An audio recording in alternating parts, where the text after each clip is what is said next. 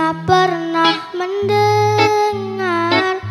Badan pernah merasa Terekam jelas Seakan terjadi baru saja oh, Siapakah yang salah?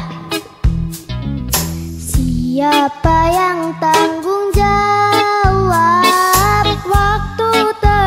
berjalan terasa salah karena ada yang belum selesai.